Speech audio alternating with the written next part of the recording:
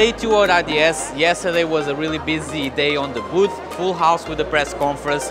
We had also a podcast uh, uh, recording. As you can see, they are already working in the training tables.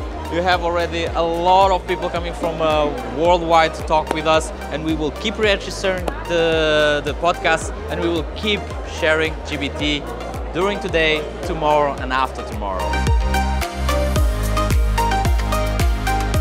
Already tried guided biofilm therapy?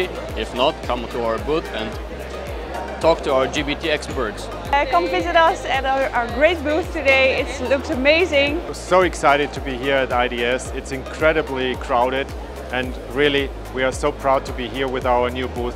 Yeah, this year IDS has been really, really exciting. It's really busy. The stand looks beautiful, nice and open, people coming on. Seeing the GBT Lounge in the centre, it's been really great. EMS really has a great booth. I'm really happy to be here.